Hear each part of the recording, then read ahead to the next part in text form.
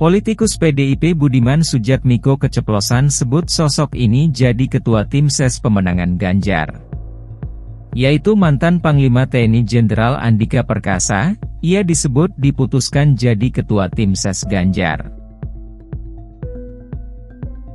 Awalnya, Budiman ceritakan kronologisnya bertemu dengan Ketum Gerindra Prabowo. Dia sebut sebelum bertemu Prabowo, dirinya sempat bertemu Luhut Binsar Panjaitan. Saya sempat main ngobrol dengan Pak Luhut, ngopi-ngopi, makan, kata Budiman.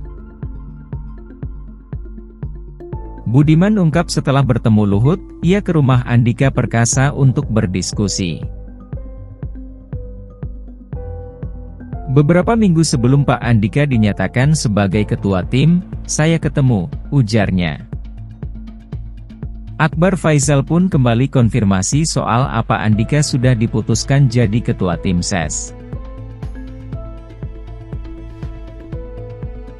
Kemudian Budiman Sujatniko menjawab belum.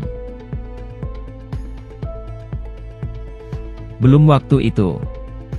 Oh sekarang belum, belum, belum. Sekarang belum, ungkap Budiman.